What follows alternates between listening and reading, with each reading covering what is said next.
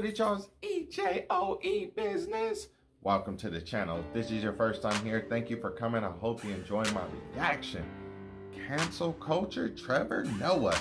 Let's see what he has to talk about. This is on BBC News, and the thing that made me pick this was because on the look, little thumb, because I was going down, yeah, Trevor Noah, and it said African Americans aren't African. Duh. You know, but anyways, let's see what this is. All right. But I will tell you some. This lady that's about to introduce him, she looks like she's emotional or she's an asshole. I don't know. I hope I'm wrong, you know, but it's just the face. Like right as soon as I clicked on the video, it's just a picture of her just like looking away, just you know, so let's just see how she is, see how cancel culture. Trevor Noah standing up against cancel culture and defending comedy. Yes, let's let's see, man. Racial observations have very much formed, at least in the early stages, the backbone of your stand-up uh, comedy career. Do you now regret some of the jokes you made? Let me give you an example. You said, "My mother." Black South African was saying, Get me a white guy, get me a white guy. Well, my father was white Swiss. Of course, he liked chocolate. That sounds funny to me, even when you say it. That sounded really funny. Why would I regret that? Why would you regret that? Because some people say that's not really very funny. But the people laugh. Everyone can say something is not really funny. This is the way some people don't but like is Indian it more than food. that? Okay, let me give you an example. We have a, a very well established black comedian in the Britain called Lenny Henry. Yes. And he has said that he regrets doing that kind of joke where he said he would wipe his sweating brow and say, huh, I'm leaking chocolate. He Oh, but wrote, that's but that's diff- but that's different. Well, it's not. It's using chocolate, But isn't that it? is but that is different. That sounds Well, weird. The Swiss love chocolates is not a term but that you're is pe- referring to your mother's skin color as chocolate. What he Yes, says. because my mom is proud to Let be me dark, fini- beautiful chocolate. Yeah. That's what she's saying. And this is if you in the book I talk about this as well. I go, I saw people and race as chocolates. I wouldn't use that. When, I no, but wouldn't when use I, that. No, I- no. I- I'm that colour and I wouldn't say that, Listen, but- when I when I yeah. grew up, when I grew up, I believed that all people were chocolates. My mom was dark chocolates, my dad was white chocolates, and I was milk chocolates. So I see. So you see that as funny, but do you not realise that some people might not like that? And Lenny Henry went on to say that joke about how he was leaking chocolate. He says, I knew there had to be a better way of trying to put the message over, putting your jokes over. See, I gotta pause it right here, man.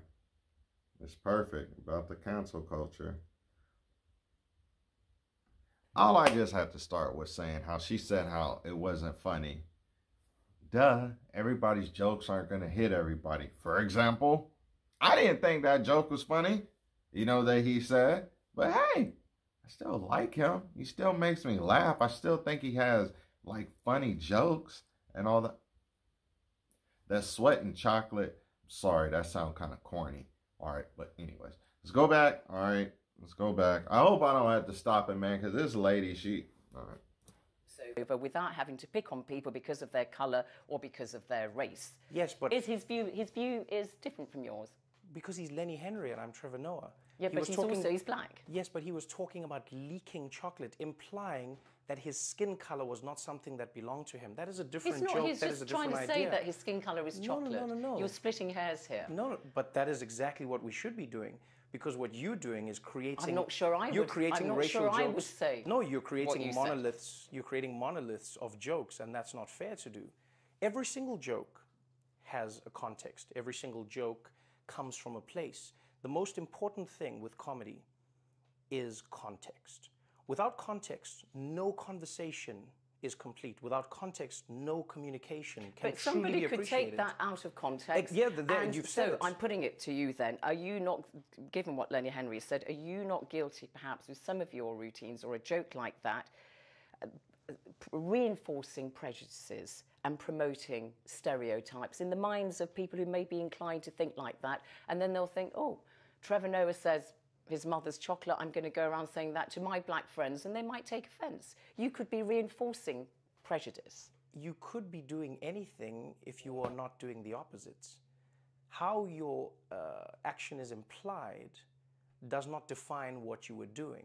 Okay, let's look at another aspect of race. You moved just a few years ago to the United States. Your, your routine as a comedian um, often mimicked Africans and also African Americans. And about African Americans, you have said this You are not African, but we play along. It's a very loose term, African American, because half the time you use it for people who aren't even African. As long as you're black, they say African American. That's true. I didn't deliver it like that. You're not doing my jokes justice. Okay, all right, yeah, I'm not Trevor. That makes sense though, and um, I if he, if he said that joke before, which I understand, it's the truth. All right, and what he, it seemed like he kind of got upset or something like that. Like what the way she said it. Let's go back a little bit. This lady tripping me out though, y'all. You are not African, but we play along. It's a very loose term, African American, because half the time you use it for people who aren't even African. As long as you're black, they say African American. I didn't deliver it like that. You're not doing my jokes justice. Okay, all right, yeah, I'm not Trevor Noah and I'm not a comedian. No, no, no, but you see, that's- but but no, I'm no, just no. asking, are, are they not African American? Here's the here's here's what you're missing. What you're doing right now is the equivalent of me saying, "Now it's raining more than ever. Uh, I'll be here with you forever. You can always be my friend, standing under my umbrella. Ella, Ella, Ella, Ella, Ella, Ella, Ella, Ella, A, A, A, A, A, Ella, Ella, Ella, A, A, A, A." I seem like a mad person right now because I'm not doing everything that was within the context of the song Umbrella by Rihanna. When you are doing comedy merely by words, I spoke it. My eyes, my voice, my connection with an audience is completely different. People can see when you are being playful. People can see when you are saying So you're being playful about that that. you don't believe. That is what So satire is, okay, though. You're poking holes. So you're, po- yeah, so, So, you're- so in, in so that. you don't believe what so, you say No, no, no, no, no. What you're, what you're leaving out in that whole joke is what I was talking about was how in America, in America, Anglo-Saxons had successfully removed Americanisms from minorities. So every single group in America had an identity attached to the Americanness except white Americans. So it's African American, Asian American, Hispanic American, Latin American, uh, Native Well, you don't American. know. You have and Irish yet- American no, there, no, no, white, no, you no, have no, no, Polish no, no, no, But No, that, they that, don't that say didn't that. become on a on a box, and this is a joke for Americans. Understand that. So as an American, they understand this. All right, on the boxes, there is no Irish American. there is only fine, white. but not looking there at- is African American, and there is Asian American. But you know- And there, do you get what I'm saying? right, So, I do so get that's what you're the saying, whole point but the point the. I'm trying to make is that there was a, a shift This lady, bro. Oh my gosh. Irish American. That's so funny what he said. Nobody says anything like that. You're just white. Like what? You want to say I- Irish American? What German American? Norwegian American? Is that what it is? Norwegian? Well, you say Norwegian American? What? Um, French American? Man, no. It's just plain old white, like what he said. And that's Oh my gosh, this lady is tripping me out, bro. I hope she's just reading from things and they want her to be like this. Cause she shift amongst the black American community to start calling themselves African American. They didn't want a Yes. definition by default, i.e., you were not white, so therefore you were black. Yes. They wanted to have a hyphenated identity that linked them with the continent Mm-hmm. of their ancestors. And therefore, when you say, oh, they're not really African, they're playing along, you cannot disconnect what you say from this debate that's really, uh, you know, captured the imagination uh, of the African American, Black American Yes. community. And also, the point I want to make to you is when you say that, it now feeds into a debate that's current in the United States. For example, Kwame Kwei-Armah, the Black Britain theatre director in the United States, says he has conversations with African Americans now who are saying, we want to go back to being called Black American because we don't have anything in common with this recently arrived African Americans, mm-hmm. be they Somalis, Nigerians, South Africans, such as your, as you, you know, they have different language and so on. So, what you say feeds into that debate, and it sounds like you're saying there is a difference between African Americans and Black Americans, There definitely is a difference. right? But these are differences that can be celebrated or used to separate people. Noting differences does not implicitly make it a bad thing. when you are noticing differences, you can note them for good reasons. It's the same reason we notice different colors or we notice different flowers. That can be a good thing. If you're using it to celebrate, you can use that same thing the same way apartheid did to separate people. When you talk about African Americans, the one conversation Black Americans, African Americans. I heard of Black Americans before, obviously, but like what she's saying, like why? I've never heard it like that. Which I understand that makes sense if you know that's how you know you feel, you know, but I've never heard it like that. Whatever, man. This lady tripping me out though, man. What? Mm. that I was talking about was I was traveling America and I was going to a lot of universities, and I came to realize in many universities in America, the conversation you're having right now, they had, they had an African American uh, student body. And very quickly they noticed a shift because they could not lump black people into a monolith. They could not lump, because there were people from the Caribbean who said, We're not African American. There were people from Africa who were like, These are not our views. We are Africans in America. So There is that's a difference. interesting, yeah. And so what people themselves did was they said, You can't just lump us into this group. Fine. And does that difference mean that it doesn't act as a cohesive form? Because I'm thinking in 2014, Chimamanda Ngozi Adichie, the celebrated Nigerian author, she said that when she visited the US, she felt that her African American classmate was annoyed with her because she didn't share their anger.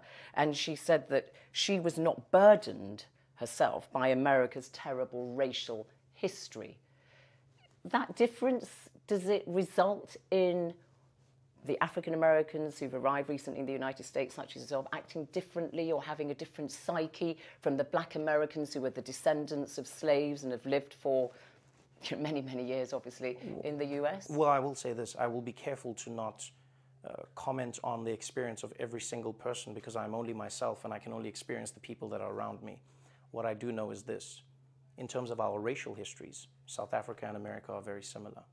When I talk to a black American person, there are many stories that we share as human beings. There are many oppressions that we have, have experienced through our uh, selective, uh, you know, uh, oppressors. Um, I think those are the things that many people can relate to across the board. So there's more to unite, even There though is- you say there, there is are definitely more to unite, especially when you are being oppressed as a group. Because you must remember, when you are in the U.S. as a black African man, I can tell you now that if you have an encounter with the police, they are not going to split the hairs. They're not going to say, "Excuse me, talking Trevor. about." No, are you from South Africa Yes, or are that you doesn't. from that, Detroit?" that doesn't happen. No, that fine. doesn't. Oh my gosh, bro. Black Americans, African Americans. I heard more African American. And that is a good joke right there with what he's talking about. Oh my gosh, man. What she's talking about right there and what he's getting into, that's like that's a serious talk right there. You know, it's like I I hear everything of what he's coming from, and it's like I understand everything. And for her side, I hear where, where she's coming from, but it's like she's like in an emotional state where she's saying it negative, where she tries to make stuff look bad. Like it was perfect what he did how he did that with the um, Rihanna song, that umbrella, and then how he was saying how like what she how what she didn't give his stuff justice. Cause it is true. Like what if you with the um Rihanna song, if you just say umbrella, you just talk it. It's like what? But it's y'all let me know how you guys feel about this. Let me know how you guys feel about her. Let me know if you guys like her. Well, I hope you guys do like her. But yeah. All right, man. We up out of here, man. That was Trevor Noah talking about cancel culture, defending comedy. Uh, African Americans are Africans. Duh. You know, I'm older though, so maybe I'm sure a lot of people don't see it that way. But as far as you know, us connecting African Americans, connecting it along with over here is because what our ancestors came from Africa and they were brought over here So it's like we don't want to be detached from it. That's what I'm figuring. That's why I figure like that's why they do it. Uh, Black Americans, that makes sense. But African Americans, it's like I I identify with that more because I'm used to that. Like I still think was funny how she talked about like white people. She's like, oh Irish. Like, no, nigga. Alright, that's how it is. Obviously it's different up over here. Just like racism is totally different over here than in Europe. What I read and I was told. Anyways, y'all let me know how you guys feel about this, all right? Let me know how you guys feel about that. Let me know if you guys agree with her. All right, man, we up out of here.